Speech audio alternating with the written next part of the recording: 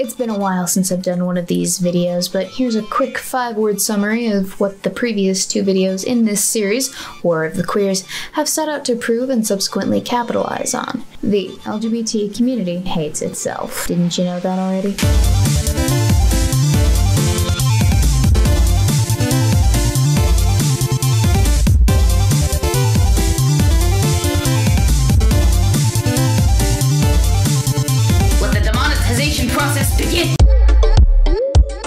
First episode of this series discussed the vitriol directed at the lesbian community for being, well, lesbians about it, not sucking dick and refusing to put out for those poor, pressed. Chicks with dicks. In part two, we discussed the war on those disgusting asexuals and aromantics who, honestly, it's jarring, had the unmitigated gall to take up space doing their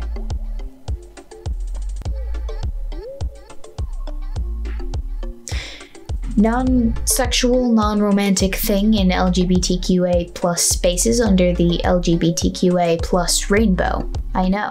How dare they? Those bastards. Part three of this series is when we finally, we finally get to what it is that you've all been waiting for. The content you all absolutely needed in your life. War of the Queers. The Big Gay. So we're talking about how the LGBT community doesn't like the gays. But Weebo, You say. how can the gays be hated in a community they make up such a large percentage of? Are you asking me how the majority of a specific community can be hated by a minority of another community in the same community?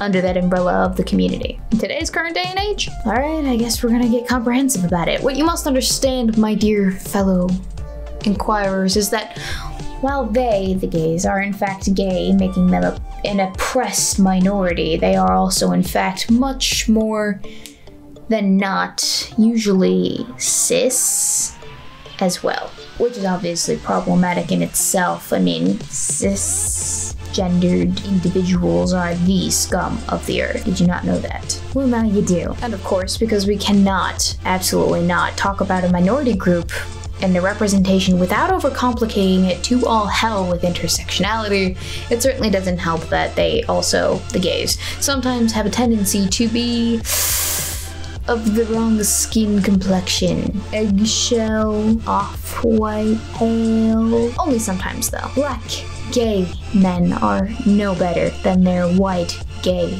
counterparts, apparently. Quote, black gay men that are pro-black slash woke and date white gay men, how can you call them out clearly laying in the bed next to them? How does this conversation work? The privilege that your skin affords me pisses me off and also turned me on. Now, Call me daddy. Hashtag I'm sick. Apparently, it's disgusting. Interracial gay relations. I thought that was only a bigot's way of going about doing things. Noted. We actually have a whole list thanks to this wonderful phenomenon called a Twitter thread, where the intellectual academics of our time and bleeding hearts of the internet can just go on and on and on and on and on and on and on and on and on and on. Sorry. I lost my cool for a second. Quote, a list of problematic things that white cis gay men do. So many gay guys act like vaginas are disgusting and unnatural when they're really just sex organs. Grow up. So many white gay men say they have a sassy inner black women perpetuating dangerous stereotypes about the black community.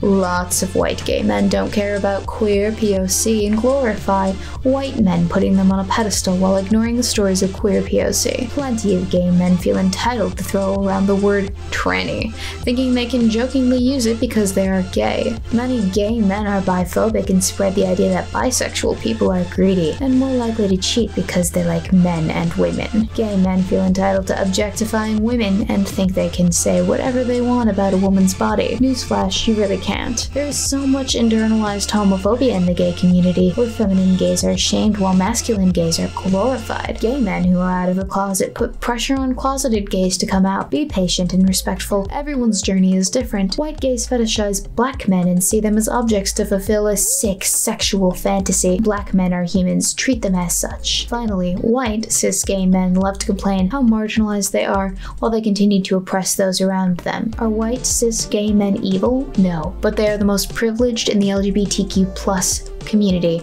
and should constantly be mindful of this. Peace. In fact, did you know, dear viewer, that it is the cis members of this community as a whole that are the problem? Quote, in the LGBTQA community, cis gay men and cis lesbians are the most problematic in terms of thinking they are untouchable. Imagine that, would you, for a moment? Dear viewer, being in a nation that, I've been told at least, is deeply oppressing and increasingly becoming more of a dangerous, hostile situation for gay and lesbian members of the Alphabet Plus community every day because the bad orange man is in office, and at the same time, thinking that they are untouchable somehow. How do you sleep at night reconciling all of that contradiction, I wonder? And because they're white, they of course are not allowed to have any sorts of racial preferences. Obviously, that's a given. But because it's current year and we're all about intersectionality, you also cannot have what people like to call genital preferences, which is just a fancy way of saying that you can't have a sexuality that discriminates between the genitals, which, yes, I know, renders it and the entire purpose of identifying as homosexual completely moot. Otherwise, that's transphobia. I don't know, you don't have to be bi to want to date and fuck trans guys, I'm just urge, okay? There's so much transphobia in gay culture. And then, and then, when the gays do eventually open themselves up to engaging the trans community, apparently, apparently, it's only to fetishize them. I feel like trans men are becoming more accepted into cis gay culture, but only in sexual ways, as another fetish. And we talk an awful lot about chicks with dicks and dudes with poons and the transphobia that they face within the inclusive toting exclusive alphabet club, but if you didn't know it already. Apparently, the gays are also incredibly misogynistic. How, you may be asking? Well, in two out of three cases that I could find, I could find no clue as to how.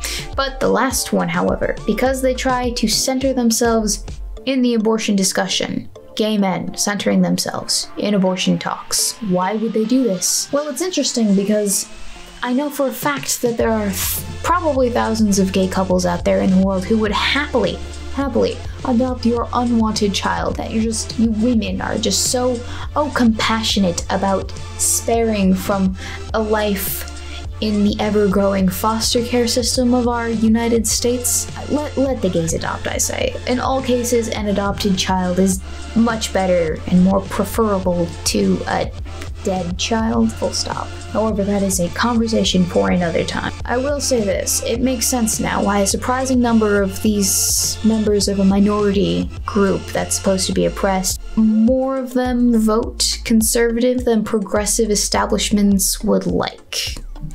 They're just guilty of wrongthink. We need to recondition them. We're breaking the conditioning! The most deplorable members of the gay community, however, are not those filthy MAGA thumpers. No, no. No, no. It is the attractive members of the community that are the most problematic to the Alphabet Plus community because they are the apex representation of male privilege in the Alphabet Club and they they don't even have the decency to own up to it and stay in their own lanes. In fact, this is an issue in all of gay culture that they fetishize the male physique. Imagine that, my fellow viewers. The gays having a form of sexual desire in which gratification is linked to an abnormal degree to a particular object, and that object being the male body. Who could have seen that one coming? My, my. However, prepare thyself, dear viewer, you are about to become even further le shook. Yes, I'm afraid we must accept the fact that gay men sexually fetishize gay men. More specifically, however, gay men, brace yourselves, because this is mind blowing, are attracted to men with muscles and toned bodies. Muscles and toned bodies. The horror. I will say this it seems that the biggest crime of the gay community, or something that some of the gay community is guilty of, however, is this notion of straight acting. Quote, straight acting gay men That is, men who are seen as normal and masculine are sometimes just as problematic and hateful as straight men. Acting straight is a sin in the gay community, you ignorant sluts. Dwight, you ignorant slut! You know how offensive stereotypes are offensive and wrong, and offensive and not politically correct, and offensive and definitely not something that you want to perpetuate as they're problematic and offensive? Yeah, that's that's not what this this this person is saying at all. No, forget forget that thought. Just here are some guidelines for you to follow when you're gay, alright? Do the voices, dress yourself every morning as if you're walking yourself down the runway of life, and for bonus points, memorize these 97 prepared show tunes. Then, and only then, can you become one of the gays. Honestly, I think the worst thing of all of this shenanigans that you come across in any community, to be quite frank, has definitely got to be the self loathing. Whether or not it's men, women, straight people, cis people, whatever group you're part of. I don't care. I know I'm guilty of it as well. I don't generally like being around my own sex myself. It's something I need to work on probably. Uh, if I could tolerate them for even half a second, I would. But you know what? It's, the, it's a whole thing. The amount of self identity condemnation is not healthy, people. I mean, if you can't love yourself wholly, and you can't love anybody. Also, trust me, I keep gay men under a sharp ass microscope. We low key are the most problematic of the queer community, and by far my least favorite, just due to the overall atmosphere the Twitter gays tend to have. Trust me, it's not a gay versus lesbian thing.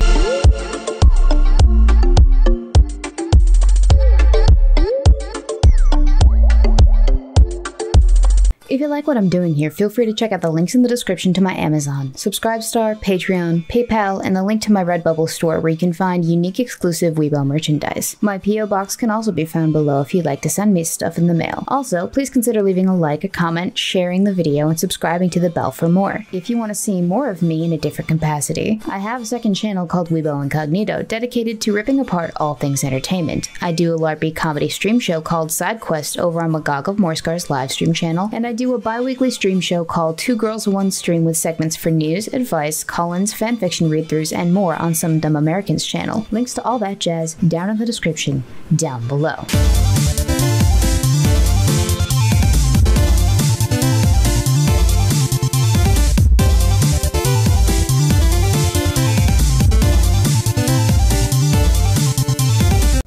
Good afternoon, everybody. I know that this is the end of the video, and technically, when I filmed the other video, it was like at 2 in the morning or whatever.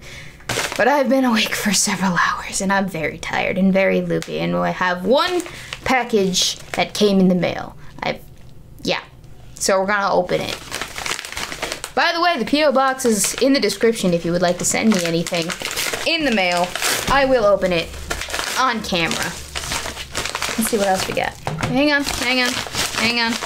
There's nothing in here. Okay. There's there's no note, I don't think. I have received two movies. I like movies, by the way. The Dish, based on a true story. You can't see it because it's shiny.